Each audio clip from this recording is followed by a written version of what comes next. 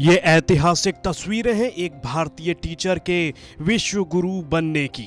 इस चेहरे की खुशी के पीछे अभिलाषा झलकती है, जिसके लिए कितनी मेहनत की गई है, वो खिलखिलाती मुस्कान बताती है।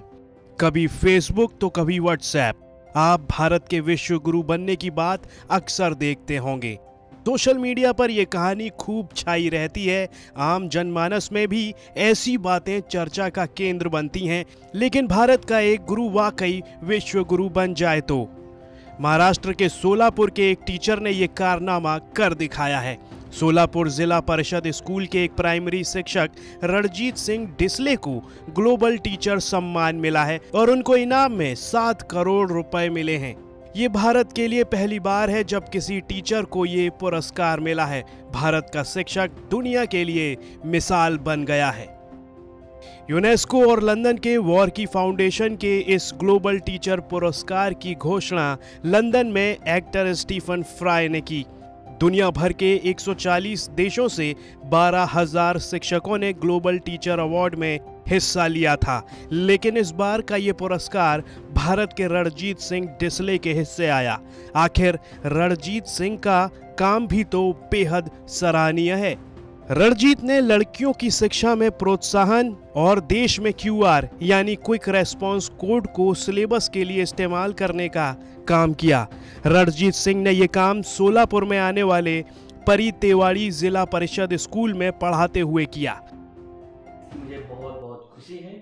ये सम्मान मुझे मेरे क्लासरूम में जो मैंने Q R coded textbook तैयार किए हैं उसके लिए ये सम्मान मुझे प्राप्त हुआ है।